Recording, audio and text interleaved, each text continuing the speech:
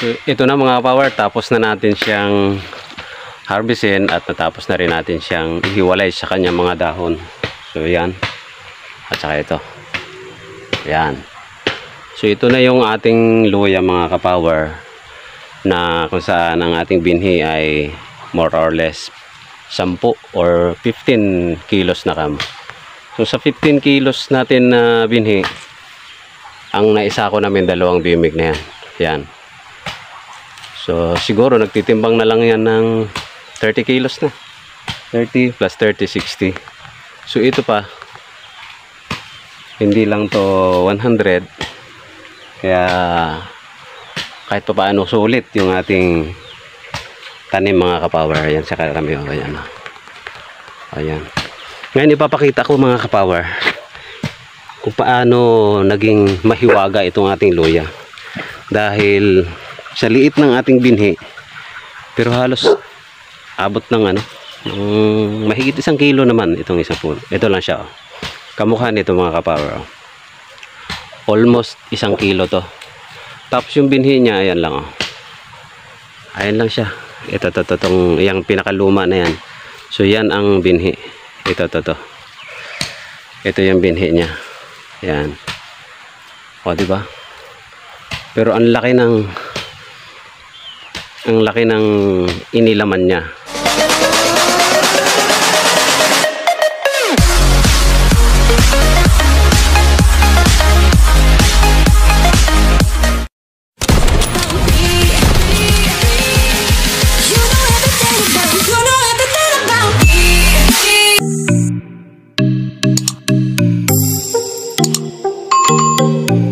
Yo!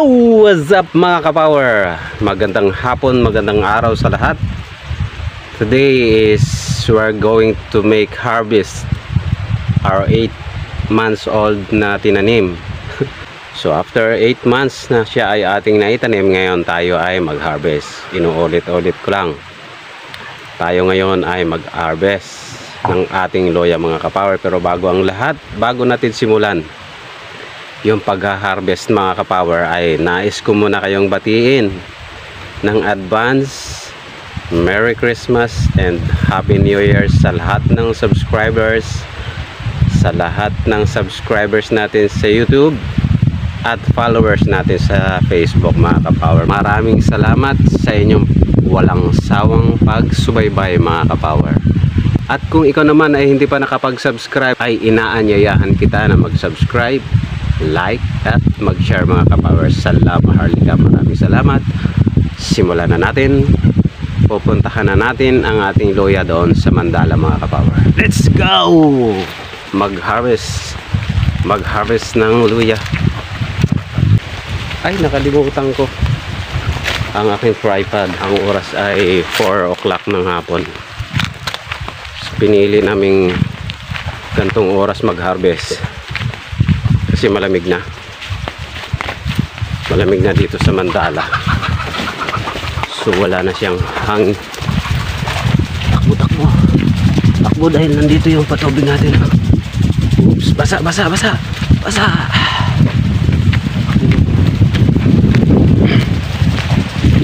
Yun. Yun.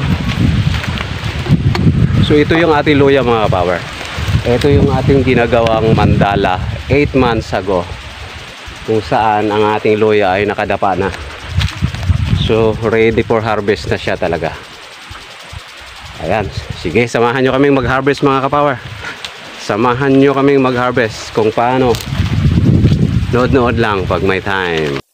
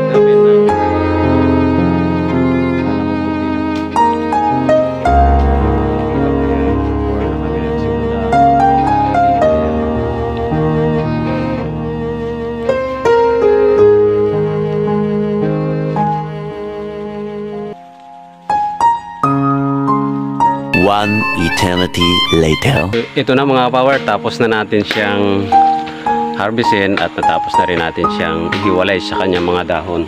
So yan. At saka ito. Yan. So ito na yung ating luya mga kapower na kung saan ang ating binhi ay more or less 10 or 15 kilos na kam. So sa 15 kilos natin na binhi, ang naisa ko namin dalawang bimig na yan. Yan. So siguro nagtitimbang na lang yan ng 30 kilos na. 30 plus 30, 60. So ito pa, hindi lang to 100. Kaya kahit pa paano sulit yung ating tanim mga kapower. Ayan sa karami. O, ayan. o. Ayan. Ngayon ipapakita ko mga kapower kung paano naging mahiwaga itong ating luya. Dahil sa liit ng ating binhi, pero halos abot ng ano, ng mahigit isang kilo naman itong isang puno. Ito lang siya. Oh. Kamukha nito mga kapower. Oh. Tapos yung binhi niya, ayan lang. Oh. Ayan lang siya. Ito, to, to, tong, yung pinakaluma na yan. So, yan ang binhi. Ito, to, to. Ito yung binhi niya. Yan. O, di ba? Pero ang laki ng ang laki ng inilaman niya. May mga napunggal pa siguro yan. Pero kahit pa paano yan. So, ganun siya kahiwaga. Ang ganda. Ito. Mahigit kalahating kilo. Kulang isang kilo. Itong binhi na ito mga kapower ano, ay tinatawag na kombinasyon ng Hawaiian at saka yung native natin dito. So yung native, naging malaki na rin. Nag-ano siya, nag-pollinate siya doon sa ating Hawaiian na binhi. So, ganun lang mga kapower. Yan.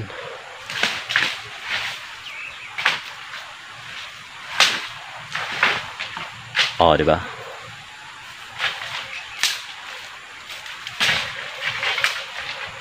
Okay, all right mga kapower kahit pa paano. Sulit. At ito ay itong bibinhiin lahat to. Tatanim natin ng bulyo mas maramihan.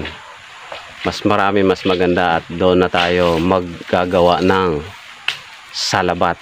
So ganun lang mga kapower kung ikaw ay may queries, questions, inquiries sa ating kinagawa o sa ating luya mga kapower ay mag-comment na lang. At kung hindi pa nakapag-subscribe ay inanyayahan ko po kayo na please mag-subscribe sa La Maharlika ating channel mga kapower. Maraming salamat. At aabangan po natin kung papaano ito i-preserve nang hindi masisira mga kapower.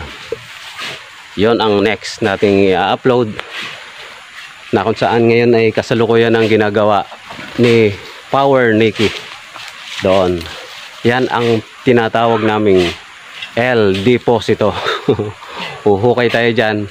Dyan natin siya i-deposito lahat. Yan ang ating binhi ng loya mga kapower. Maraming salamat. Buenos dias, adios amigos, amigas. Shalom.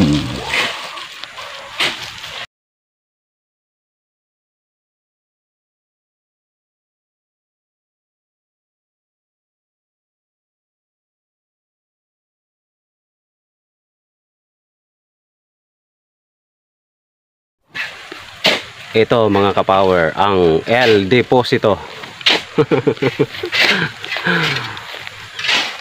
Kung may L kabayo, meron kaming L deposito. Ito, abangan ninyo mga kapower ha. Si Power Nicky. Hindi na nakapag ano, hindi na nakapaghintay. Gigil na gigil ng i-deposito ang aming loya mga kapower. Abangan ang susunod na kabanata.